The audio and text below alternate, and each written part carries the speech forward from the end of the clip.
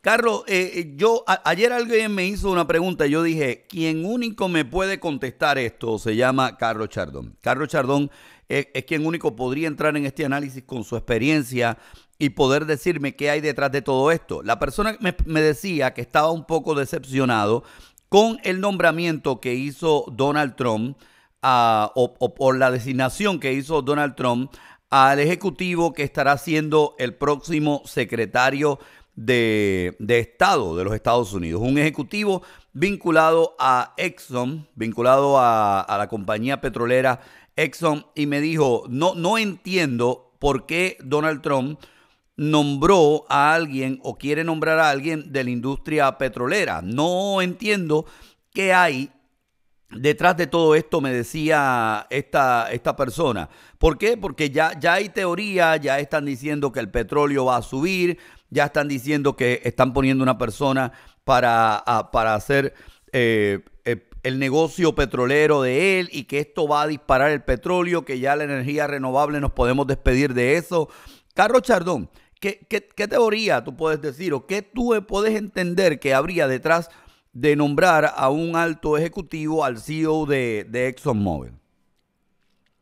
Bueno, yo lo que te digo es lo que yo esperaría que sucediera. Ajá.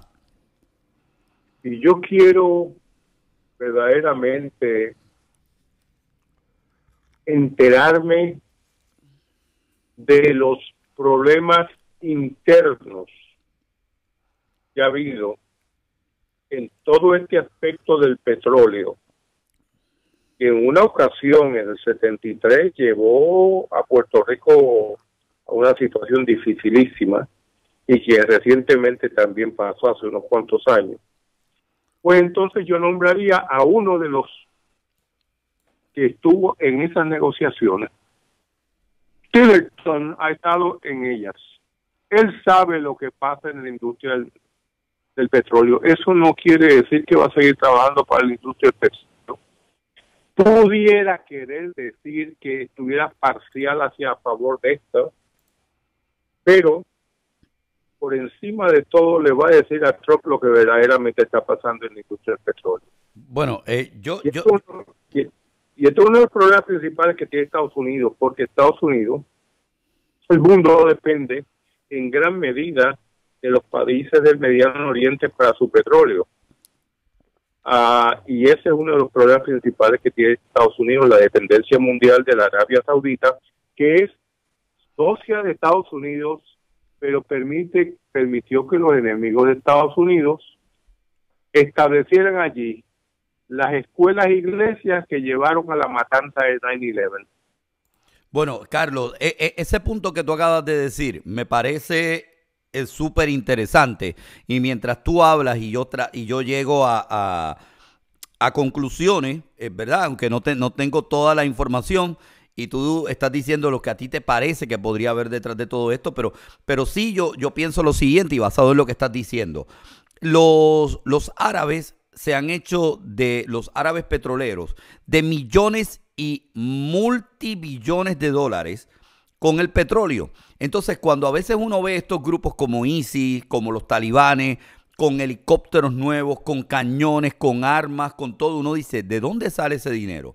Y, pues sí, y, hay gente que dice que siempre hay un jeque detrás de todo eso. Donald Trump anunció que en Estados Unidos se va a estar, se va a estar utilizando, se va a estar utilizando el petróleo de Estados Unidos. Y, y ahí yo dije, wow, si eso pasa, Donald Trump lo que está buscando es que los países árabes se le pongan de rodillas. Porque que uno de los principales consumidores de petróleo deje de comprarle petróleo a alguien eh, eh, es una amenaza grande. Por otra parte, otro de los que consume también y desarrolla petróleo está Rusia, eh, por lo menos Ucrania.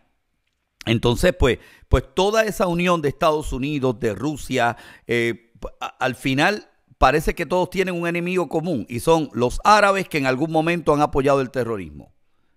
¿Concuerdas conmigo, Carlos? O, totalmente contigo. Ok.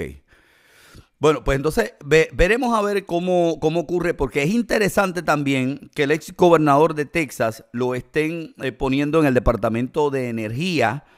Entonces, pues lo que está haciendo Estados Unidos es que Estados Unidos lo que está buscando es, en muchas áreas que he visto, cortar la dependencia con otros países. Oye, eh, el chavo del 8 te diría que esto fue fríamente calculado por Trump.